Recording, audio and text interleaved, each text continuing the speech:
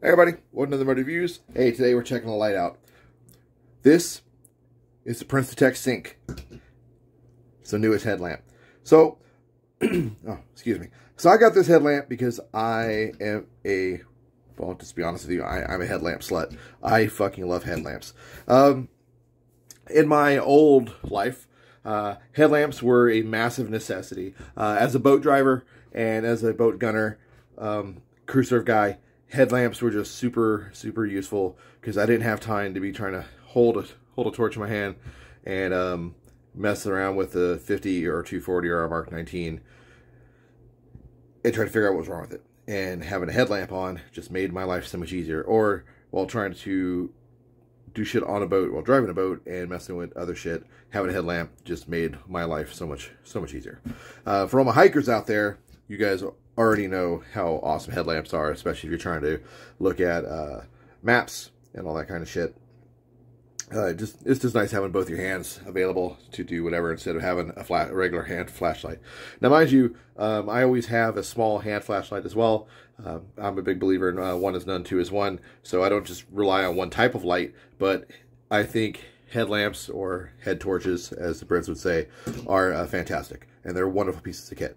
So this, and what I love about this, is uh, this Princeton Tec Sync is pretty rad because the strap is not built into it, and the back is, one, is kind of curved for your head, uh, but two, you could, it's kind of a split buckle design, so you could hook this to uh, PALS webbing or MOLLE, for as everyone would say, and you can put the head head strap on the same way.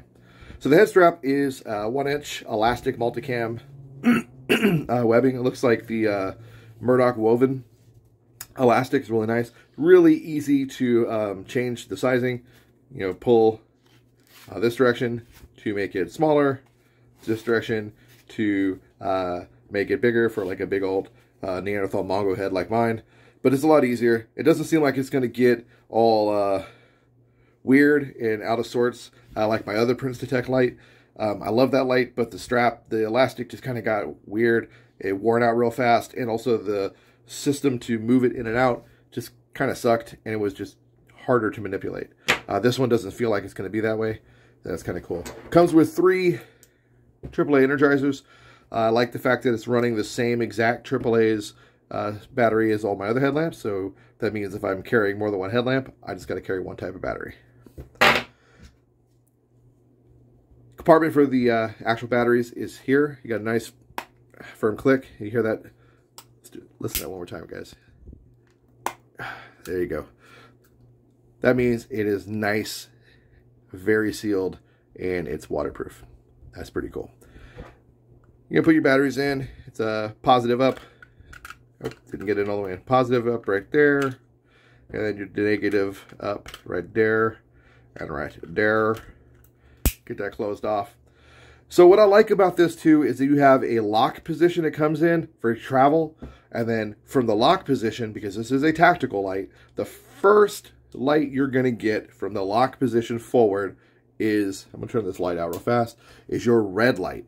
So it's your, it's your red uh, spot. And that's awesome.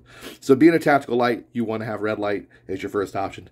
I have a couple other headlamps I do really like, but the first option is white light.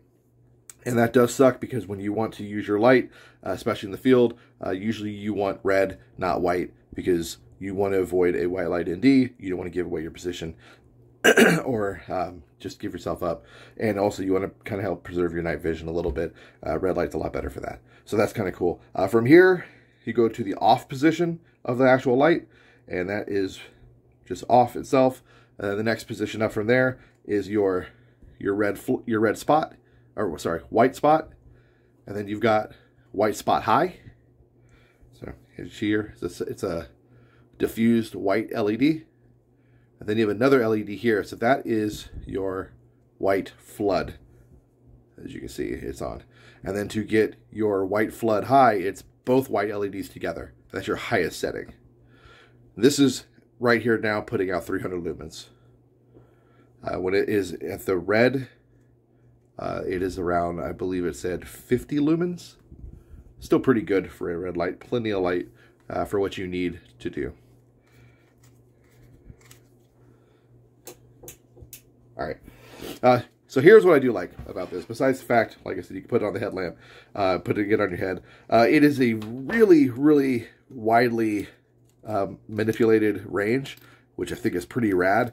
It also helps you uh, to kind of fine tune it in and dial it in to where you want it for whatever you're doing at the time, which I think is cool. And you can get it up pretty high so you can get some umbrella lighting out of it, which I also do like.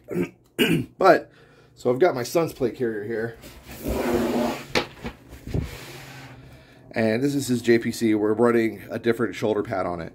So if I wanted to, he could set this up on his uh, JPC with these uh, WAS shoulder pads that he has on here.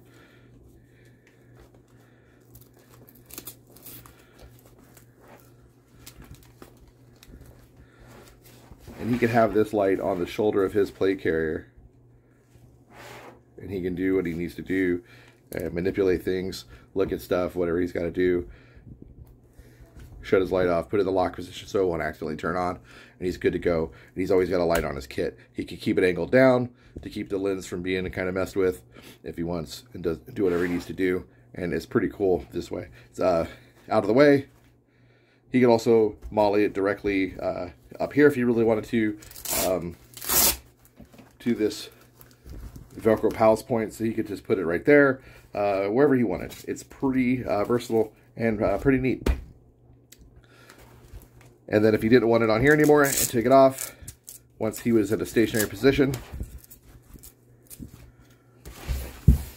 You can easily move it from his shoulder and just stick it on the actual straps. Bam. And now he's got his headlamp for whatever he needs in the in the uh, camp. So pretty cool, very versatile piece of kit. Really like this headlamp.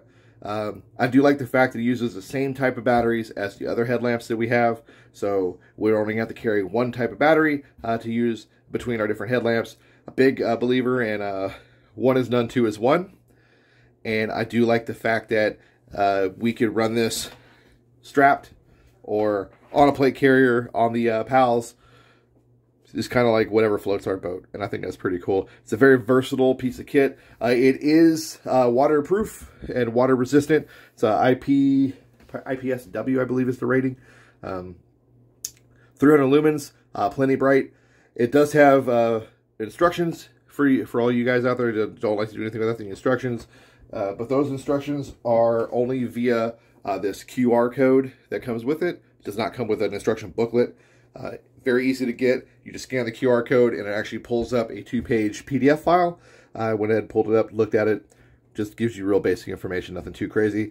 Uh, shows you where to like warranty it and everything else. And explains about like your typical stuff like battery, you know, batteries, don't mix batteries, take batteries out when you're storing it, etc., etc. Uh, it explains uh, the actual Lamp features like I already talked about, flood, spot, red, uh, what the lumen what the lumens are in those, and etc.